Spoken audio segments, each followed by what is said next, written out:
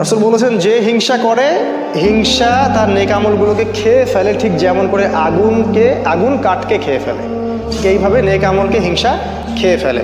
So আমরা হিংসা থেকে দূরে থাকব। হিংসা আর ঈর্ষা কিন্তু এক জিনিস নয়। হিংসা হচ্ছে যে তোকে আল্লাহ যা দিয়েছে সেটা ধ্বংস হয়ে যাক। খারাপ নেগেটিভ জিনিস চিন্তা করা। আর ঈর্ষা হচ্ছে যে আমিও যদি ওই লোকটার মতো আল্লাহর পথে দান করতে পারতাম, আমিও যদি ওই লোকটার মতো আল্লাহর পথে মানুষকে দাওয়া দিতে পারতাম বা ভালো কিছু বলতে পারতাম, আমি কোরআনে জ্ঞান পাইতাম। এগুলো ঈর্ষা জায়েজ। আল্লাহ রসুল বলছেন, দুইজন ব্যক্তির ক্ষেত্রে ঈর্ষা জায়েজ। যাকে আল্লাহ সম্পদ দিয়েছেন এবং সে দিন রাত আল্লাহর পথে খরচ করে, এই ব্যক্তিকে দেখে ঈর্ষা করা জায়েজ। যে আল্লাহ আমাকে দিলে আমিও ইনশাল্লাহ করতাম। আরেক ব্যক্তিকে দেখে জায়েজ, সে ব্যক্তির কাছে জ্ঞান আছে, কোরআন, সুন্নার জ্ঞান আছে এবং সেই জ্ঞান দিয়ে সে মানুষকে ভালো কিছু শেখায়। এটা তার জন্য ঈর্ষা করা জায়েজ। আর হিংসা অন্য জিনিস নেগেটিভ থট সেটা হচ্ছে মানুষকে তোরটা ধ্বংস হয়ে যায়।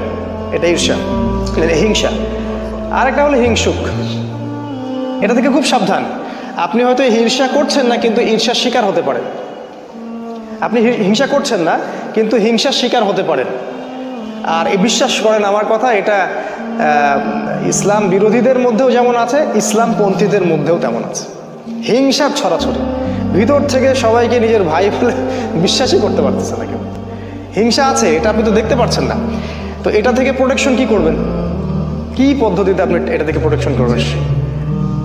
যাদের নাই তো আলহামদুলিল্লাহ, তাদের তো কলবুন সালিম, তার হৃদয় তো অনেক প্রশান্ত। যেমন একজন সাহাবি সম্পর্কে রসুল বলেছেন, ওই সাহাবি জান্নাতে যাবে।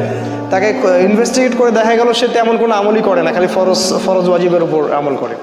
তিনি তাকে ডাকলেন যে, তুমি কি এমন আমল করো? একজন, আরেকজন সাহাবি তাকে জিজ্ঞেস করলেন, তুমি কি এমন আমল করো? রাসুল বলেছেন, তুমি জান্নাতে যাবে তিনি বলেছেন যে আমি আসলে ভাই এত তো আমল করি না। যা ফরজ ওয়াজিব আপনারা করেন সেটাই করি। আমি রাত্রে যখন ঘুমাই, সবাইকে মাফ করে দিয়ে ঘুমাই।